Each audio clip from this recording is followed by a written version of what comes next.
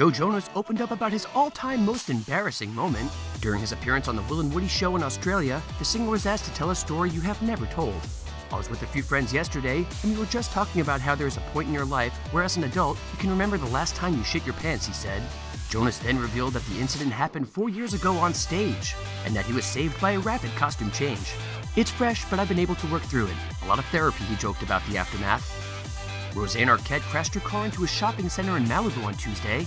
Law enforcement officials said the actress apparently lost control of the vehicle and crashed into a building in Point Dume Village. Arquette was uninjured, but she was taken to the hospital as a precaution.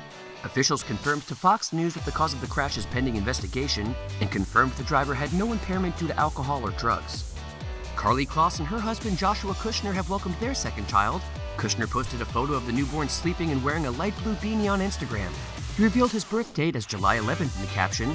Kloss and Kushner already have one son together, Levi Joseph, welcomed back in March 2021.